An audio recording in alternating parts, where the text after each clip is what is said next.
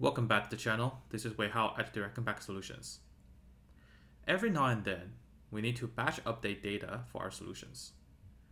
We might be trying to back populate values for a new field we added, or there are bad data we want to clean up. Regardless of the reason, let's explore different options we have to perform this task. If we look at this task from a FileMaker user's perspective, the obvious answer to batch data update would be to use the replace field content command. This option is easy enough to be performed even without the involvement of a developer sometimes.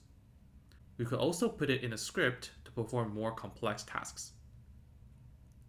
Similarly, we can also combine set field script step with a loop structure to perform batch update. Both of these methods have a major downside.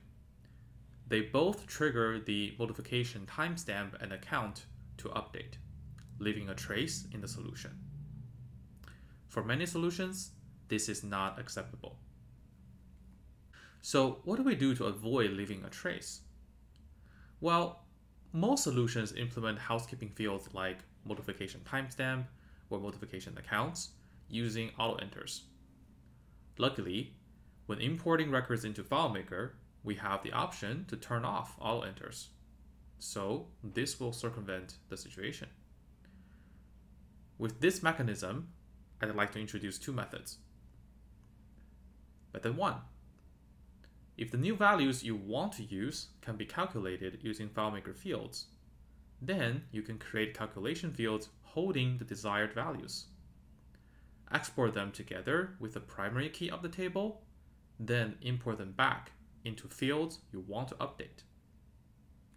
For example, let's say for whatever reason, I want to insert the name of my contact in front of the company name. I can create a calculation field for the desired value, which concatenate the name and company fields like I wanted. Then, export this calculation field together with the primary key of my table. After that, import these records back in, I'll choose the update option when importing records and choose the primary key to be the matching field. Then I'll map the new value into the existing company field to finish the data update. In my demo file, I'm scripting this process so I don't have to do it manually. Alternatively, if it's difficult to generate an export with all the desired values, or you don't want to create extra fields in your solution just for data update purpose. You can export the primary key and your modification fields out. Perform the cleanup using replace field content or other methods. And then when you are done, import the original modification info back in to remove your trace. So in my demo file, I created another script using this method. In this script, I will export the modification timestamp and account before I perform the batch update using replace field content.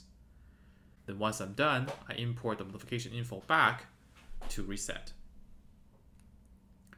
Notice with either method, the modification timestamp does not change when I batch update the data. This is what we wanted. Personally, I prefer the second method as it does not involve any schema changes so it puts less weight on the solution. Which method do you prefer? And do you have any other techniques to batch update data? Leave us a comment. This demo file is also available for download, linked in the description down below. Don't forget to try it out. That's the end of this video. If you like this video, don't forget to hit the like button and subscribe to the channel. We publish FileMaker videos every week. Thanks for watching. I'll see you next time.